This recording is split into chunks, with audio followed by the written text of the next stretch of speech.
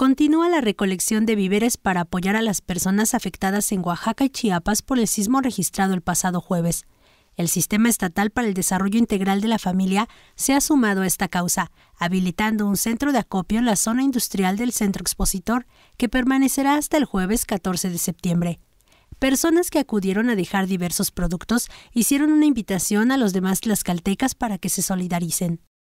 Pues sí, hay que ayudar algo. ¿Qué es lo que usted trae? Arroz, frijol, atún y jabón. ¿Qué fue lo que la orilló a usted a, a apoyar esta causa? Pues de ver la desgracia de nuestros hermanos. Pues que ayuden aunque sea con un kilo, de lo que sea.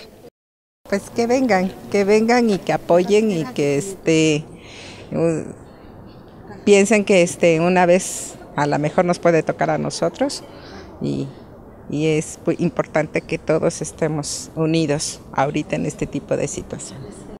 Los productos que se pueden donar son alimentos como arroz, aceite, azúcar, lentejas, atún, leche en polvo, comida para bebé, de higiene personal como papel higiénico, pañales, toallas femeninas y de limpieza, jabón, cloro, cepillos. Este centro de acopio permanecerá abierto de 9 a 14 horas y de 15 a 18 horas. Además, recuerde que se encuentran habilitados dos centros de acopio más en las instalaciones de la Cruz Roja local de Tlaxcala y en el quinto nivel del complejo administrativo de la CPUCET. Maritza Hernández, Ahora Noticias.